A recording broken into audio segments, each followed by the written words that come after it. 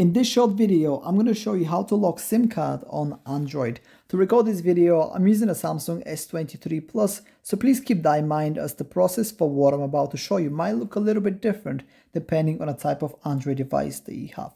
So the first thing I want you to do is to head over to your settings and then click on connections, which should be near the top, tap on that, and then look for SIM Manager, as you can see mine right here, so I'm going to tap on that, and then from here, scroll all the way down until we find more SIM settings, which are right here, and then click on SIM card security, which is the second option.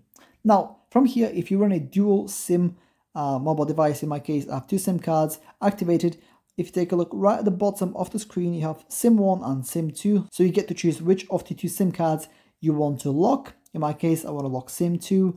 And now all I have to do is basically uh, head over to the top and then click on that little widget here. And it's going to prompt me this screen, which is going to ask me to enter uh, my SIMS card pin. Now, if you don't know your pin, as you can see, it says three attempts left. Don't try and guess this because if you use other attempts, this may lock your SIM card, which means that you wouldn't be able to use it until you contact your operator to unlock it. So only do this if you already know what your pin is. In my case, I know what my pin is. So I'm just going to enter it and then click OK.